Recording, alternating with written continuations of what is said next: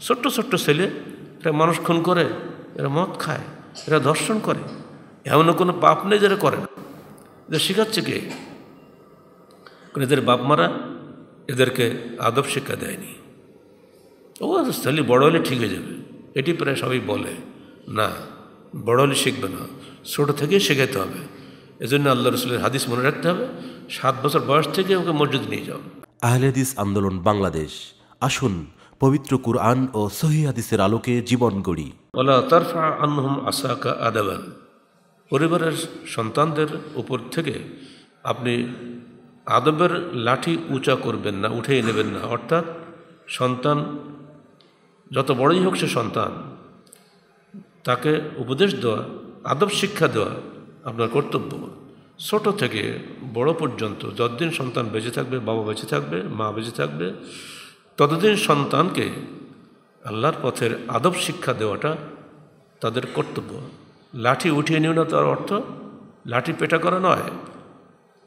তাকিদ করো, খবরদার, এটা করো না, এটা করো না, এটা করো এটা করো, এই এই কাজ করতেই হবে আপনাকে।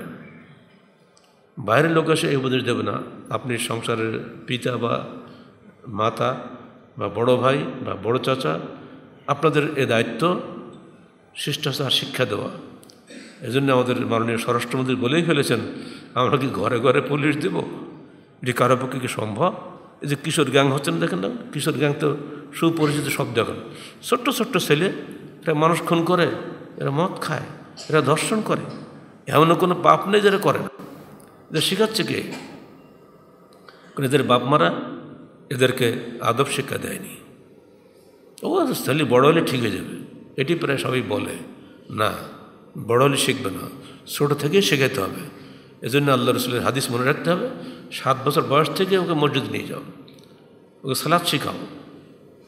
সালাদ না পড়লে দশ বছর বয়স হলে ওকে মারো। মানে সালাদ আগে সালাদ না শেখানো পর্যন্ত একটা ছেলে নষ্ট হবেই। তো কেউ ঠেকাতে পারবেন না। আপনি ছেলেপেলে নিয়ে খেলে টিভি দেখাবেন বসে বসে। আপনি যদি মুসল্লি মসজিদ যাবেন, এটা হবে না।